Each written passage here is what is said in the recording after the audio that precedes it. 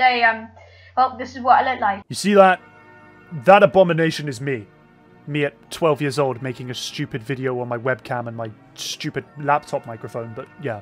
The point is, I've been doing YouTube for a little bit longer than this. Technically speaking, I started my channel on the 14th of May 2016, which by the time this video is uploaded will be on the exact same date, 8 years later.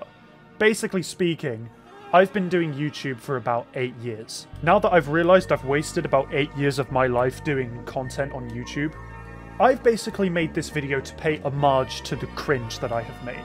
So sit back, relax, grab a beverage of your choosing, as we delve into the history that is this channel.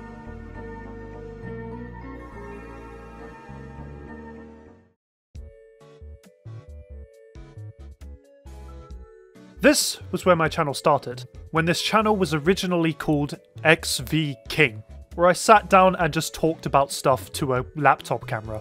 Since I didn't have an editing software at the time, I just sat down and just talked in front of a webcam for about a few minutes. I thought the videos were cool, and so did like three people. It wasn't until five months later that I finally got my first editing software, that being VideoPad Video Editor. It was at this point that I had stopped making webcam related videos and I moved on to YouTube poops using the poet Michael Rosen. Being 13 years old at this point, the humour is, well... Be like Jack. Fart. Grow clams. Let's just say it's seen better days. Three months later, and I have produced several YouTube poops that were pretty much way too vulgar to be on YouTube nowadays, and I discover how to put screenshots from Garry's Mod onto VideoPad, which brought around the end of the Michael Rosen YouTube poop era, and with it, the Garry's Mod animation empire arose from its ruins.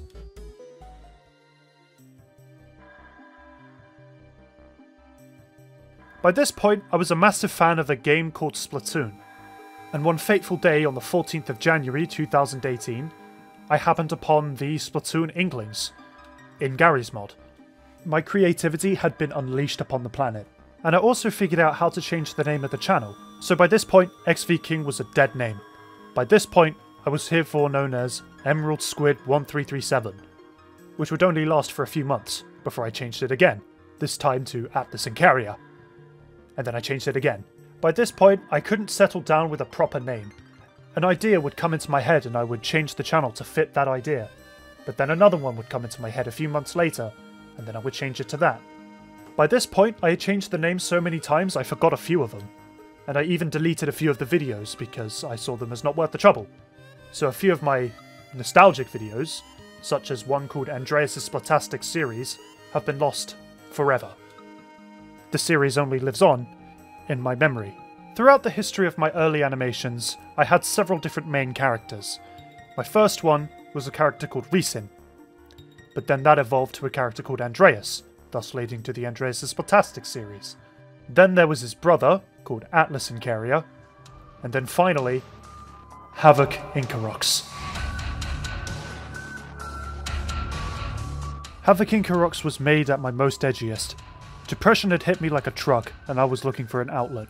So I made Havoc, an inkling whom the whole world had turned his back against, and he was only fighting to protect the people whom he loved the most.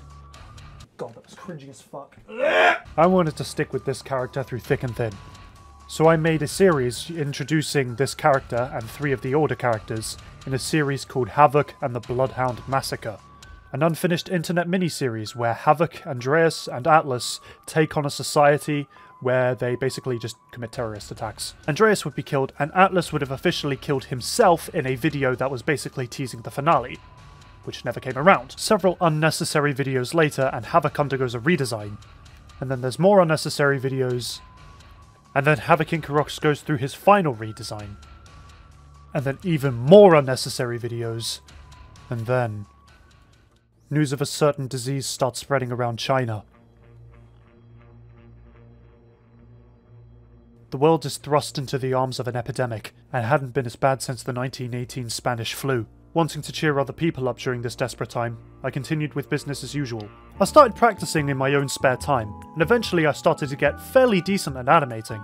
With my newfound skills, I made some fairly decent comedic animation, before resorting back to some edgy videos, Eventually, I would start to make another series called The Rise of Eptidine, where a peaceful protest becomes increasingly violent until it goes into a full blown civil war, where a rebel force emerges victorious, which turns out they were more evil than the actual government they were opposed to. Havoc and some newfound friends in a local academy would try to take down this proxy government, except there was only one combat scene and that was in the last episode. Eventually, I would increasingly fall into this habit of starting a series and then stopping it. Eventually, I would completely stop making a series in question because I was so scared of doing the exact same thing. However, as time moved on, the animation slowed down, I actually got the bug, there would be some family related issues, and I would eventually have to move out. It was still business as usual, so I still made videos. However, they started to take on a little bit more of a political undergoing. By this point, my channel had its own alternate universe where there were basically different countries, all based around different things involving Splatoon. Each country having their own flag, national anthem, and different military strengths and weaknesses. Looking back at it now, all the flags and geographies were pretty damn impressive. It's something I genuinely miss doing, and I wish I could get back into it without it, you know, revolving around Splatoon. Seriously, I could go on and on and on about this whole thing, but we should probably continue. By this point, cracks were beginning to form in my resilience to continue making animations. I grew out of Splatoon and the community in which Gmod animations were usually created on, which is called Splatsource, started to take a turn for the worse. A majority of content creators started to like kids. Like, really, really like kids. So, not wanting to associate myself with such people, I decided that now was a better time than ever to pack up my things and say my goodbyes. Looking back at my history now, it's pretty cringe. And truth be told, I couldn't really care less. I'm just glad I got out of it because an 18 year old making politically themed animations about a kid's game is pretty cringe, no doubt. So out went Havoc Inkarox, and in came Kaibutsu, which hopefully is here to stay. And that's it. That's the history of my entire channel. And I'm going to give a review of the history of my own channel, and I'm going to give it a 6 out of 10. It's okay, but like, holy hell is it cringe. Roll the outro now, I don't want this video